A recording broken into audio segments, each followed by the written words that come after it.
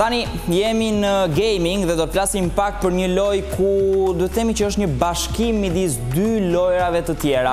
Është bashkimi Bloodborne dhe bashkimi i një loje tjetër që jam shumë i sigurt që e dini dhe e njihni mbase dhe më mirë se Bloodborne. Kjo lojë quhet Lies of P dhe mendoj se duhet ta zbuloni tani se për çfarë flet.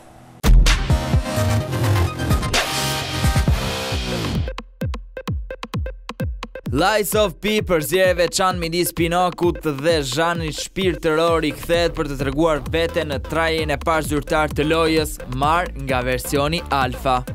Falë videos së publikuar nga djemtë e Round 8 dhe botuesi Neowiz, mund të marrim një shije të parë të atmosferës së errët dhe të tmerrshme të Kratit dhe automatikëve monstruozë që e popullojnë atë.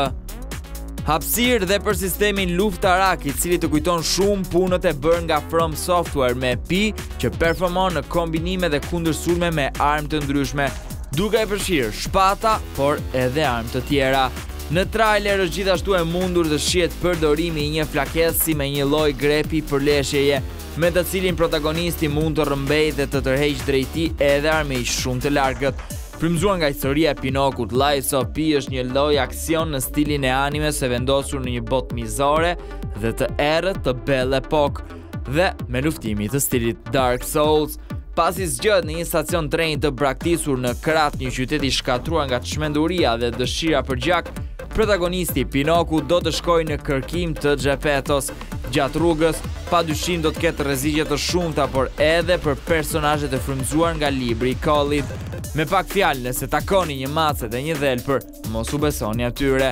Loja do të kishte gjithashtu një sistem kërkimesh proceduriale që do të ndikojë në fund një sistem për zhvillimin e aftësive dhe armëve të personazhit.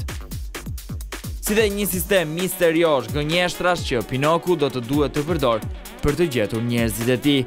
Lies of P do të jetë në dispozicion në PS5, Xbox Series X dhe S dhe PC, loja akoma nuk ka një datë lëshimi zyrtar.